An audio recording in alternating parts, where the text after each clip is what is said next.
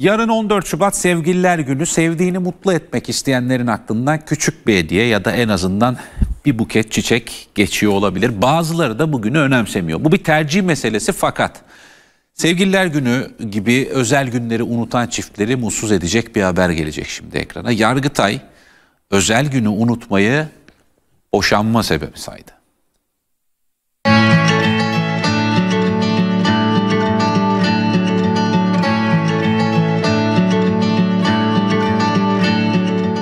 Çiçek bekliyorum. Valla o saat seviyor herhalde saat alırdım diye düşünüyorum. Gömlek alıyor, pantolon alıyor, ayakkabı alıyor.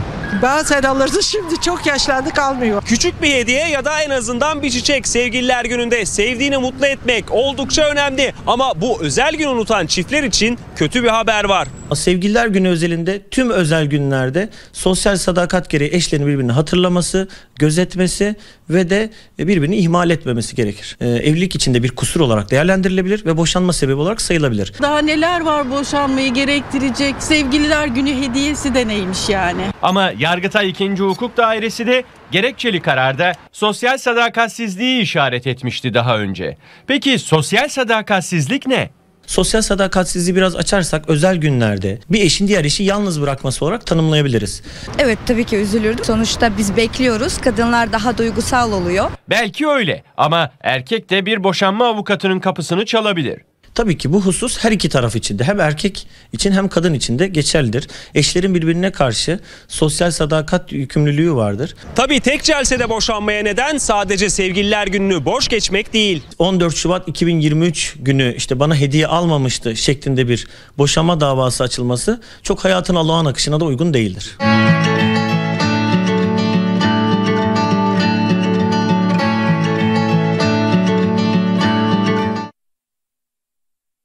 Tabii sevgililer gününde bir buket çiçek ya da küçük bir hediye almanın bir maliyeti var. O da geçtiğimiz dönemlere göre o hediye küçük olsa da maliyetler büyümüş durumda. Az bir zaman kaldı yarın dedik.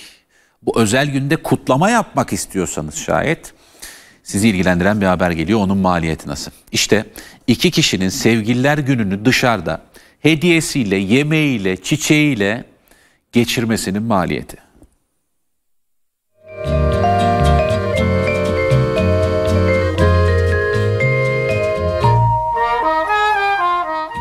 Rezervasyon yaptırdınız. Yaptırdık. Zaten önemli bugünlerde. Rezervasyonsuz hiçbir yer almıyor. Sevgililer günü geldi çattı. Kimi hediyesini aldı, kimi bir mekana rezervasyon yaptırdı. Ancak özel gün kutlamanın maliyeti cepleri yaktı. Yarın için bir yere rezervasyon yaptırdınız mı?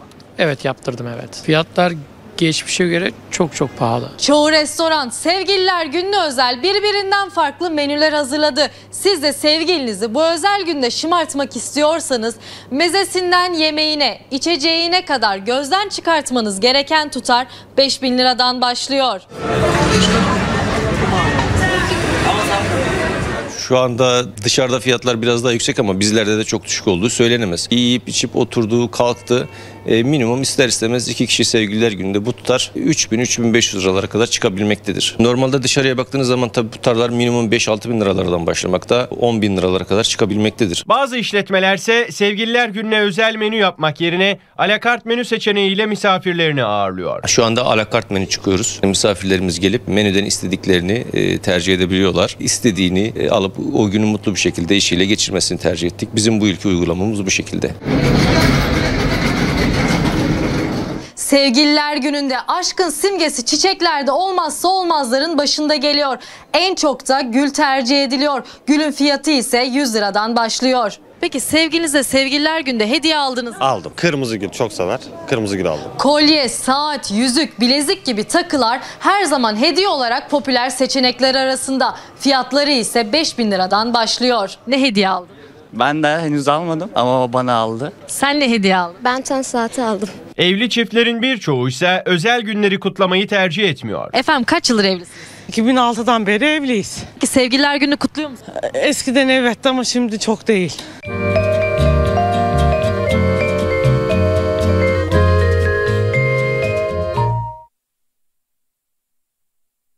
Yine çiftleri ilgilendirecek bir haber gelecek şimdi ekrana. Bunun adı flört şiddeti özellikle dijital olarak yani yeni nesilde bu Z kuşağı diye adlandırdığımız nesilde ortaya çıkan bir tablo. Aslında 3 aşaması var. Birazdan onlar ekrana gelecek. Aşk bombardımanı sonrasında bir psikolojik manipülasyon var. Partneriniz tarafından fark edilmeden manipüle olabilirsiniz. Sevdiğiniz kişi ilişkinin ilk başlarındaki gibi değilse özellikle buna dikkat etmekte fayda var. Son olarak bu süreci yaşattıktan sonra size bir anda yüz yüze konuşmadan herhangi bir bilgi vermeden ortadan kaybolabilir de o flört yaşadığınız. Bu sürecin hepsine dikkat çünkü geleceğiniz açısından çok karartıcı bir tabloyla karşı karşıya kalabilirsiniz.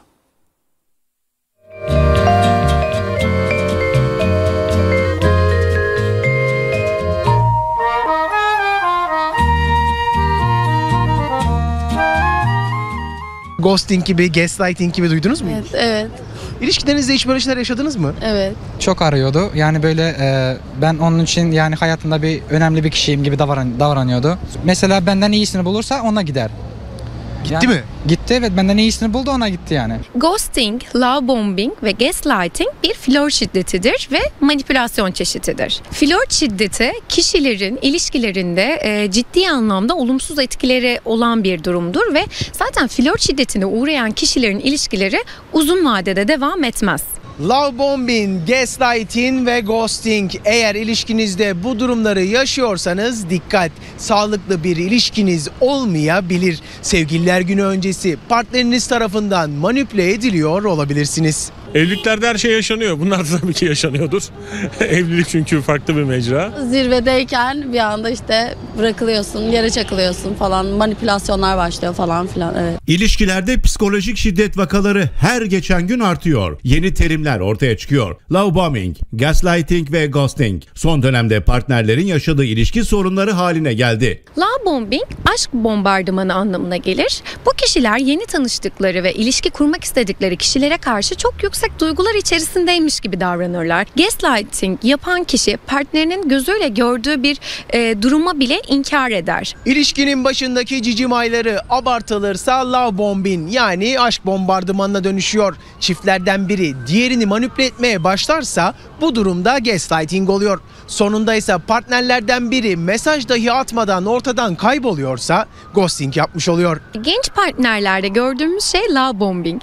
E, duyguların da vermiş olduğu bir şeyle çok yüksek tepkiler veriyorlar. Hayatlarının aşklarını bulmuşçasına davranıyorlar. İkili ilişkilerdeki manipülasyon ruhsal sorunları da beraberinde getirebilir. Sen abartıyorsun, kafanda kuruyorsun gibi cümleler kişilerde e, değersizlik hissiyatını, e, acaba ben hasta mıyım, problem bende mi sorusunu e, getiriyor. O çok fazla açıkçası erkeklere e, bel bağlamamak lazım. O yüzden kendi ayaklarının üzerinde durabilen her kadına tebrik ederim.